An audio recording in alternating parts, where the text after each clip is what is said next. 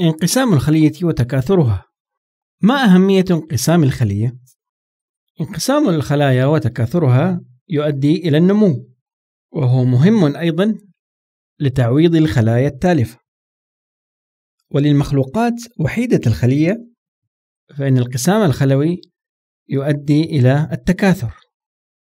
دورة الخلية. تمر الخلية بعدة أطوار في أثناء نموها وانقسامها. زمن دورة الخلية. ويقصد بزمن دورة الخلية هو الزمن التي تقضيه الخلية منذ الانقسام الخلوي وحتى الانقسام الخلوي الذي يليه. هذه هي دورة الخلية. الطور البيني. وفي هذا الطور يكون معظم زمن دورة الخلية. وبعض الخلايا التي لا تنقسم مثل الخلايا العصبية وخلايا العضلات تبقى في هذا الطور طول حياتها. أما الخلايا التي تنقسم أي الخلايا النشطة فإنها في هذا الطور تقوم بنسخ المادة الوراثية وذلك استعدادا للانقسام. الانقسام المتساوي غير المباشر. يسمى هذا الانقسام الانقسام المتساوي لأن النواة فيه تنقسم إلى نواتين متساويتين. يمر الانقسام المتساوي بمراحل. قبل بداية الانقسام كما قلنا في الطور البيني تقوم الخلية بنسخ المادة الوراثية.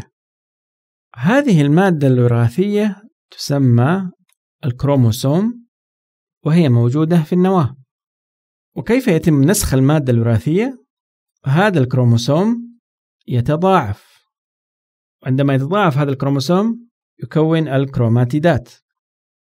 فالكروموسوم يكون بهذا الشكل كروموسوم واحد وعندما يتضاعف ويصبح كروماتيدات يكون بهذا الشكل. وبعد تضاعف الكروموسومات تبدأ مراحل انقسام الخلية. أول طور يسمى الطور التمهيدي وفيه تتلاشى النوية والغشاء النووي. وتبدأ تراكيب صغيرة تسمى المريكزات في التحرك إلى قطبي الخلية ويبدأ تكون خيوط مغزلية بين المركزات ويكون شكل الخلية في هذا الطور كالتالي. هذه هي الخلية وتكون المركزات في قطبي الخلية والكروموسومات في منتصف الخلية بعد تلاشي الغشاء النووي وتبدأ الخيوط المغزلية في التكون بهذا الشكل استعدادا لفصل الخلية. بعد هذا يبدأ الدور الاستوائي وفيه تصطف الكروماتيدات في منتصف الخلية مثل هذا الشكل. ثم يبدأ الطور الانفصالي.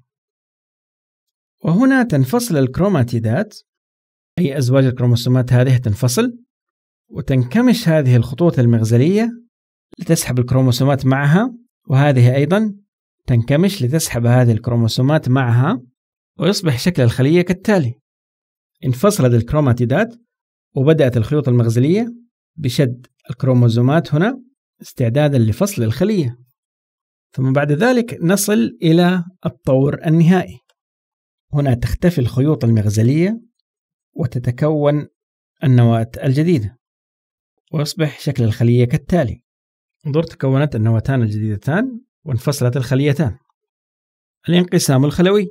بعد هذا يتوزع السيتوبلازم بين الخليتين والسيتوبلازم هي هذه المادة التي توجد داخل الخلية. فيبدأ السيتوبلازم بالتوزع بين الخليتين وتكوين الصفائح الخلوية. وبعد انتهاء الانقسام الخلوي يبدأ الطور البيني من جديد. نتائج الانقسام المتساوي والانقسام الخلوي.